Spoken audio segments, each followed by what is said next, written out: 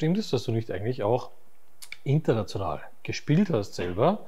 Und es geht ja auch das Gerücht, dass du lang für einen Ausländer gehalten worden bist. Stimmt das? Dass ich mit meinem Namen für einen Ausländer gehalten werde, ähm, ist irgendwie naheliegend. Äh, es kommt aus dem polnischen Piszek. Ich habe mir mal sagen lassen, das heißt kleiner Hund. Ob das stimmt, weiß ich nicht. Aber das haben einige gesagt.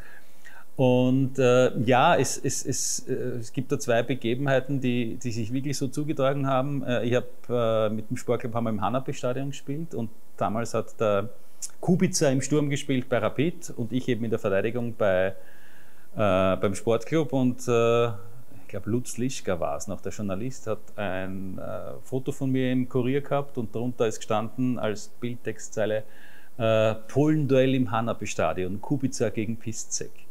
Und da dürften einige wirklich glaubt haben nachher in weiterer Folge, weil das, was in der Zeitung steht, stimmt ja, dass ich Ausländer bin, weil ich dann später bei Mödling gespielt und da war der Stöffelbauer zunächst Trainer. Und nach dem ersten Training ist er zum Kapitän, zum Sepp Heiling hingegangen und hat gesagt, der Neue, der Bicek, der ist ja nicht so schlecht, der ist ganz gut, aber jetzt haben wir ein Problem. Das war nach dem ersten oder zweiten Training.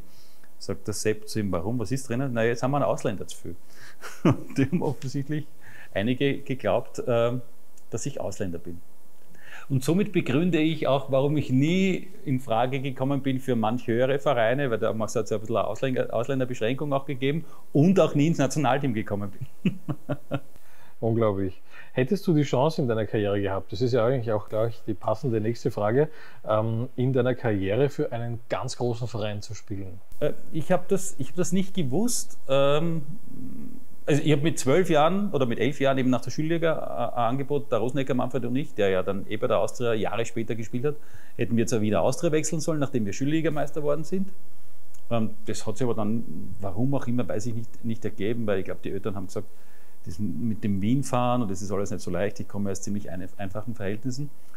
Aber Jahre später hat mir der Peter Schöttl, der jetzige Sportdirektor äh, vom ÖFB, gesagt, du bist uns schon so auf die Nerven gegangen, als der Baumgartner bei Rapid Trainer war, weil jedes Mal hat er gesagt, schaut euch den Bissek an vom Sportclub, der bringt einen um, bevor er sich überspielen lässt und hin und her. Und ähm, der wollte mich angeblich holen, der Baumgartner, zu Rapid. Und äh, wenn der dort länger Trainer gewesen wäre, wäre ich vermutlich bei Rapid gelandet. Ja? Aber so ist es halt im Leben. Ne?